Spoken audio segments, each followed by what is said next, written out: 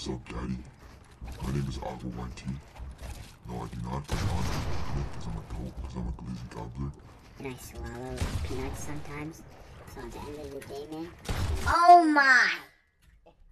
That's a good